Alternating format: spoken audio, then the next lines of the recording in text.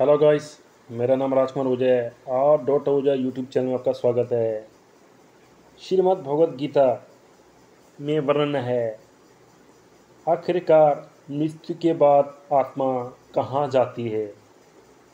ऐसा माना जाता है कि मानव शरीर निश्वर है, जिसने जन्म लिया है और उसे, से एक ना एक दिन प्राण त्यागने ही पड़ते हैं। भले मनुष्य कोई अन्य जीवन प्राणी में से से हो या सौ वर्ष से भी ज़्यादा हो, वर्ष से अधिक क्यों ना हो, जी लेने के बाद उसे अपने शरीर को छोड़कर वापस परमात्मा के शरण में जाना पड़ता है। यानी परमात्मा के पास, वो आत्मा के पास जाना पड़ता है, आत्मा को।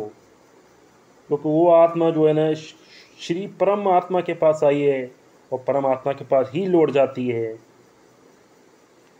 यद्यपि इस सच से हमें सभी भली भांति परिचित हैं, लेकिन मृत्यु को पश्चात जब शव की अंतिम विदाई दे जाती है तो ऐसे में आत्मा का क्या होता है? ये बात हमारे मन में प्रश्न उठता है। कभी कोई नहीं समझ पाया कि एक बार अपने शरीर को त्यागने के बाद वापस शरीर में प्रतिवृत होना असंभव है। इसलिए मौत मौत के बाद दुनिया कैसी है अभी तक ये रहस्य बना हुआ है। यानी कोई इसी गुत्थी को ना सुलझा पाया है, ना सुलझा पाएगा। जो परमात्मा के पास, वो आत्मा आती है, वो परमात्मा के पास ही लौट जाती है। किस्से कहानियों में, ये फिर से अफवाहों में तो मौत के पश्चात आत्मा को मिलन वाली यातनाएँ हैं। फिर विशेष विद्याओं के बारे में में तो कोई बार सुना जा चुका है, लेकिन पुख्ता और अभी तक कोई जान पाया है कि क्या वास्तव में इस दुनिया के बाद एक को ऐसी दुनिया है,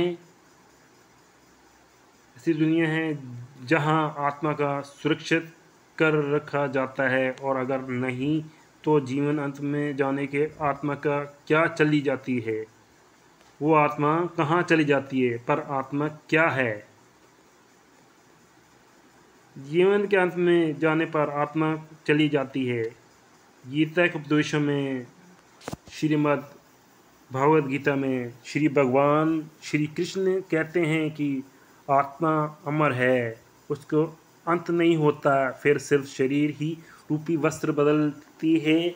वैसे तो कई बार आत्मा अमर यात्रा के विषय सुना जा चुका है, लेकिन फिर यह सबसे अधिक रोमांच जिज्ञासा है, से जुड़ा हुआ मिलता है। आज तक कोई इंसान जान नहीं पाया है कि परमात्मा के पास लौटने के बाद आत्मा के पीछे अभी तक बुद्धि बनी हुई है। ना कोई इसे सुलझा पाया है, ना सुलझा पाएगा। वेल अगर वीडियो पसंद आती है तो लाइक ज़रूर करो चैनल को सब्सक्राइब ज़रूर करो। अब अगर आप चाहते हो कुछ अगर, कुछ विषय, अच्छी जानकारी, के हमें कुछ गलत अगर इसमें उपदेश दिए हों तो इसके लिए माफ़ी चाहता हूँ। मिलते हैं नेक्स्ट वीडियो में। धन्यवाद।